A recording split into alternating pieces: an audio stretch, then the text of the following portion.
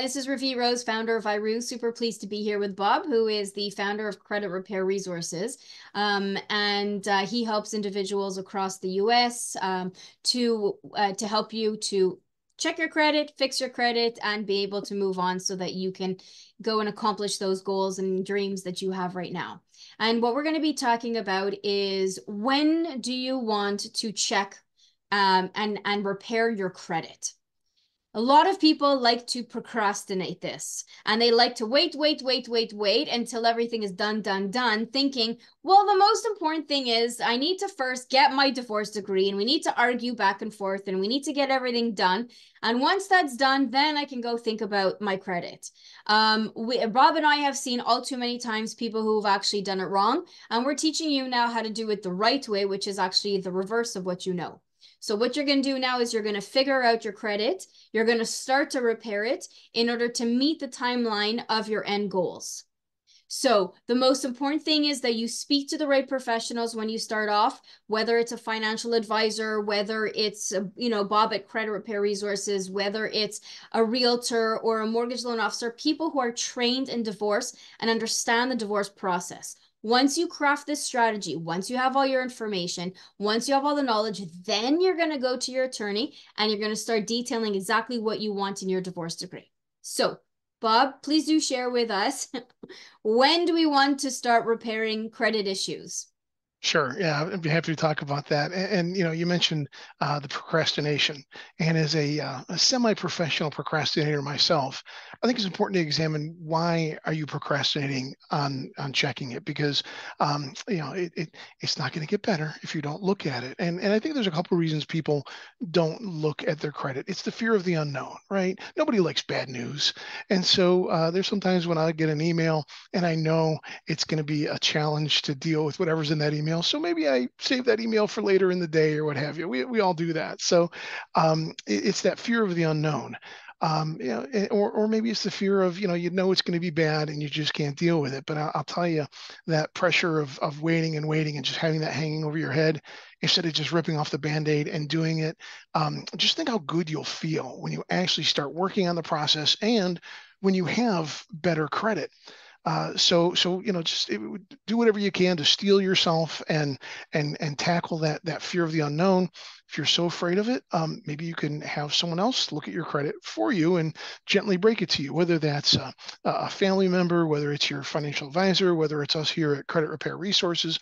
Maybe somebody can can look at it and go, "Oh, you're, you're not as bad uh, as you thought." I, I, have clients all the time go, "You know, it's it's a mess, isn't it, Bob?" And I'm like, I, I got to be honest with you, you're not the worst credit report I've seen this month. Heck, I don't even think you're the worst one, uh, you know, I've seen in, in, in a long time. So um, it, it's probably not as bad as you might think it is. Uh, our fears usually uh, exceed reality. So, so take a look or, or have someone help you. I think the other reason people procrastinate is they're not sure where to look at their credit report. There are so many websites out there to look, and you know some charge, some are free. Um, you know some of them are, are, very confusing. In the U.S., we have um, uh, uh, free annual credit report.com or annualcreditreport.com where you can get your, your credit report for free. That's a government government mandated site. Uh, and, and, you can look at it for free, but then you get three different credit reports and that gets very confusing. So if you're not sure where to look, um, uh, you know, I, I, have a document I'd be happy to share with you. Uh, and, and it might even actually be in my, in my profile here where you can just look and see some sites that I would suggest to you. So once you finally steel up the nerve to look, what might you find? Well, hopefully you'll find a, a great score. The score range goes in, in, most, there's a number of different score ranges, a number of different score models, but typically goes from 350 to 850. So um, our, our website is crr760.com because we feel at a score of 760 and above, you can pretty much write your own ticket. So um, anywhere in that range is, is great. If you're a 650 or above, you're, you're still doing well. If you're not, that's great. That means you have an opportunity to improve. And there are things that you can do to improve it. I've never met somebody who is is just hopeless. Now, you know, sometimes uh, you know the, the the correct solution is is a bankruptcy or something else, but most of the time, you know, they can do something, but it does take time. Right? It, you know, like I say, Rome wasn't built in a day.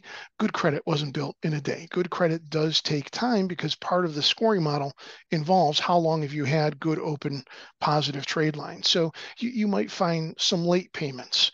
Uh, the most devastating thing on a credit report is recent late payments. I was looking at a credit report this morning uh, that we were working on, and, and we got a collection uh, taken off the credit report. So, yay. But the scores hadn't improved, and that confused me. And then I discovered, oh, uh, another new collection just popped up. So uh, and so we're going to work on, on, on tackling that one and get that one removed as well. So um, you might find some collections on there. You might find some late payments. Um, you might find some things that are aged out that shouldn't be there anymore. Stuff stays on the credit report for uh, for seven years.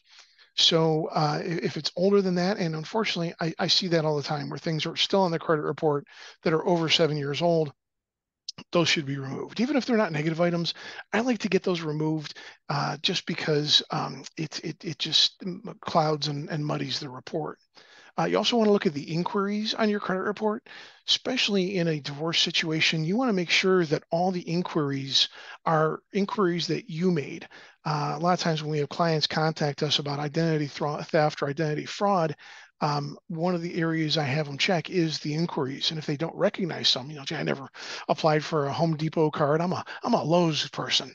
Okay, that's great. Uh, somebody applied for a Home Depot card in your name, and it could have been your soon-to-be ex-spouse. It could have been a complete and total stranger that got access to your information. So you want to make sure and check that to make sure that's accurate as well. Those are some important uh, indicators.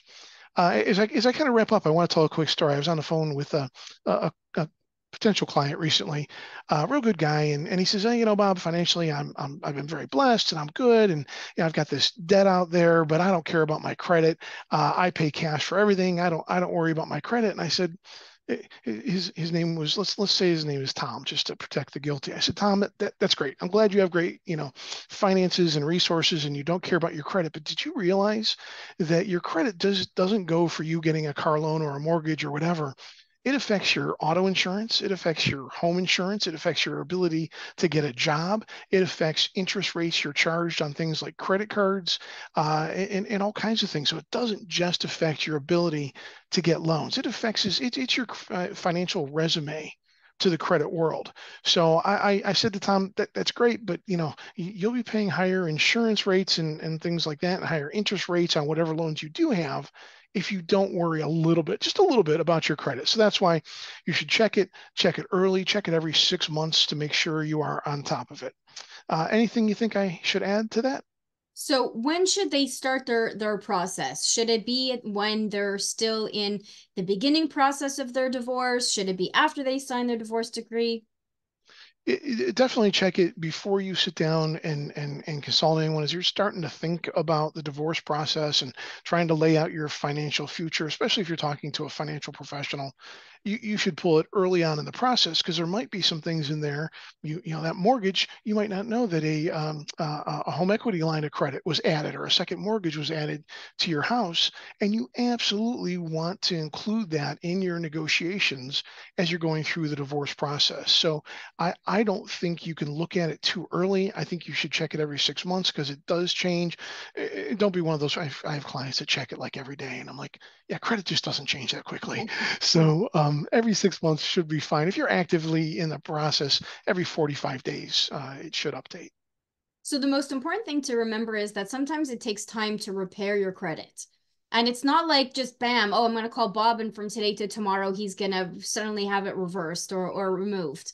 Um, sometimes things take time. So if you're relying on your credit in order to uh, remortgage, to refinance, to get a new loan, to you know, uh, to get insurance, you know, as a solo person, as a solo household income earner, you know, it's very important that you check your credit in advance take all the precautions, do all the work that needs to be done, and then sort of time it so that at the same time as like you're signing your divorce decree and you're ready to start taking action, all the credit stuff has been cleared or worked on and the process has started so that you don't have to wait until everything is done and then wait even longer to, to then be able to accomplish your goals.